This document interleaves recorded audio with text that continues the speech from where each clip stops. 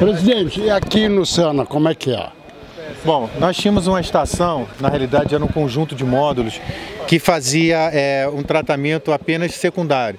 Nós tínhamos um, um, uma fase anaeróbica, uma fase aeróbica e não tínhamos o tratamento completo como temos agora. Hoje, além da remoção é, de carga orgânica tem uma fase anaeróbica e aeróbica, nós temos também a remoção de, remoção de nitrogênio e fósforo e desinfecção é, do efluente. Quer dizer, um tratamento terciário completo, como merece o, o, esse corpo hídrico aqui do Sana, o, aqui o, Rio Sana. Né? Qual é a diferença desse aqui para o de glicério? A estação é idêntica. Tá? É, nem precisava ser para a população é, residente do Sana, nem precisava ser uma estação dessas dimensões.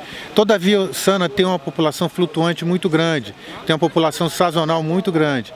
Então, hoje, se a gente tem aqui 1.500 pessoas, residentes, um pouco mais, é, de repente tem 10 mil e a outra estação ela não dava conta desse pico de esgoto que, que tinha. Essa tem, tem um tempo de detenção que consegue é, é, dar conta dos picos de esgoto que tem no Sana quando tem grandes eventos aqui.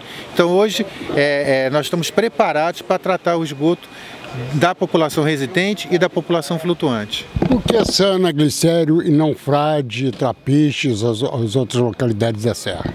É uma pergunta interessante, já fizeram essa pergunta, porque não é privilégio. Na realidade, Sana e Glicério já tinham rede de esgotamento sanitário. Precisava completar com a estação de tratamento adequada. Porque quando você tem é, rede e você não tem um tratamento adequado, o problema é maior. Você concentra todo o esgoto num ponto só.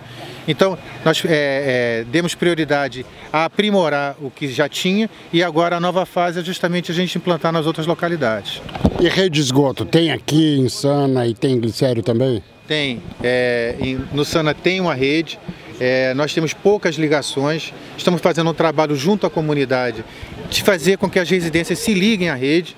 É, a prefeitura está, através da Exane, fazendo esse trabalho diretamente com os moradores. E em Glicério não, em Glicério já tem uma rede já bem, é, vamos dizer assim, é, que as pessoas já estão ligadas bastante, temos lá uma cobertura de quase 90% das, das casas ligadas. Temos um, uma parte de extensão de rede que precisamos fazer, cerca de 90, 90 casas, e a gente vai continuar avançando. Ok, obrigado, parabéns. Obrigado.